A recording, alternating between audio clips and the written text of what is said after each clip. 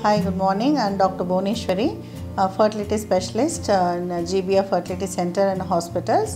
இன்றைக்கி பார்த்தீங்கன்னா ஓசி பில் அப்படிங்கிறது ஒரு பில் அப்படின்னுவோம் இல்லை ஓசி பில் என்னுவோம் கர்ப்பத்தடை மாத்திரை எதுவாக இருந்தாலுமே பார்த்திங்கன்னா ஒன்லி கர்ப்பத்தடைக்காக மட்டும் கொடுக்கறது கிடையாது இப்போ நிறைய பேர் கர்ப்பத்தடை மாத்திரை எடுக்கிறதே கிடையாது எனக்கு தெரிஞ்சு அந்த அவேர்னஸ் இருந்தாலுமே எல்லாருமே வந்து சேஃப் பீரியடை ஃபாலோ பண்ணிக்கிறாங்க அண்டு நிறைய பேருக்கு டைமே இருக்கிறதில்ல அதனால் கான்ட்ரசெப்ஷனே தேவைப்படுறதில்ல பட் இப்போது அதோடய எஃபெக்ட் அதனால் ஏதாவது ப்ராப்ளம் வருமானா கண்டிப்பாக கிடையாது. அதில் நிறைய அட்வான்டேஜஸ் தான் நிறைய இருக்குது ஸோ இதில் வந்து என்னெல்லாம் அட்வான்டேஜஸ் ஒன்று சைக்கிள் ரெகுலரைஸ் பண்ணும் ஹார்மோன் கண்ட்ரோல் பண்ணும் ஃபைப்ராய்ட்ஸ் ஏதாவது இருந்தால் சுருக்கிறத பார்க்குறோம் எண்டோமேட்ரோசிஸ் இருந்தால் கண்ட்ரோல் பண்ணும்.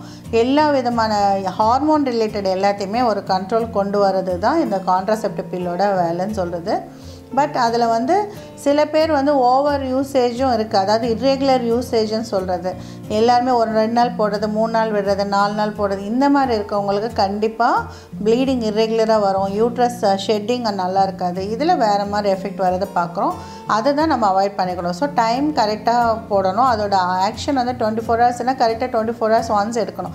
ஒரு நாள் ரெண்டு நாள் மிஸ் பண்ணால் ரெண்டு நாள் கண்டிச்சிக்கிட்டால் ரெண்டு ரெண்டாக எடுத்துக்கலாம்.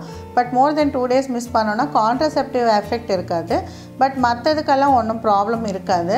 பட் வந்து நம்ம அதையே ரெண்டு மூணு நாளுக்கு மேலே தள்ளி போச்சுன்னா ப்ளீடிங் ஸ்பாட்டிங் விட்ராயல்னு சொல்கிறது அந்த மாதிரி வர ஆரம்பிக்கும் போது அது பயப்பட தேவையில்லைனாலும் அடிக்கடி இந்த மாதிரி பண்ணால் அது சரியாக இருக்காது. ஸோ நம்மளால் வந்து கண்டுபிடிக்க முடியும் போயிடலாம். இது தெரியாமல் ப்ரெக்னென்சி ஏதாவது இருந்து நம்ம அதை ஏதாவது மிஸ் பண்ணுற மாதிரி ஆகிடும் ஸோ அதனால் கேர்ஃபுல்லாக இருக்கணும். அடுத்து வந்து சைடு எஃபெக்ட் சைடு எஃபெக்ட்டுங்கிறது எல்லா மாத்திரைக்கும் இருக்க மாதிரி இருக்கும். அதை தான் வந்து நம்ம காம்ப்ளிகேஷன் எடுத்துக்கூடாது சைடு எஃபெக்ட் அப்படிங்கிறது எந்த மாத்திரை போட்டாலும் வர மாதிரி இதுக்கும் வந்து நாசியா அப்படின்னு சொல்கிறது அது குமட்டல் மாதிரி இருக்கலாம். வாந்தி வரலாம். சில பேருக்கு வயிறு வந்து உப்பசமாக இருக்கிறத பார்க்குறோம். ப்ளோட்டிங் சொல்கிறது அந்த மாதிரி இருக்கும். அண்ட் முகத்தில் பருக்கள் இதெல்லாம் வரும். ஸோ அந்த ரீசன்ஸ் எல்லாம் வந்து ஒரு கொஞ்ச நாளைக்கு தான். அதுக்கப்புறம் அது வந்து டியூன் ஆகிட்டு நமக்கு இதுதான் தெரிஞ்சுக்கிட்டோன்னா அது டாலரேட் பண்ணுவாங்க. ஏன்னா எங்களோட ஃபர்டிலிட்டி பேஷண்ட்ஸ்க்கு மோஸ்ட் ஆஃப் த டைம் நாங்கள் அது கொடுக்குறோம். யாரும் எந்த கம்ப்ளைண்ட்ஸும் இருக்கிறதில்ல. அதுலேயே பர்டிகுலராக சில ட்ரக்ஸை நாங்கள் சூஸ் பண்ணோம். எதில் பேஷண்ட்ஸ்க்கு சிம்டம் லெஸ்ஸாக இருக்குன்றது பார்த்து தான் கொடுக்குறோம். அதனால் ஒன்றும் பயப்பட தேவையில்லை.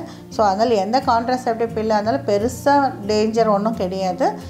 ரெகுலராக எடுத்திங்கன்னா கரெக்டாக கன்சல்டேஷன் பண்ணிவிட்டு பண்ணிட்டீங்கன்னா ஒரு தொந்தரவும் இருக்காது. தேங்க்யூ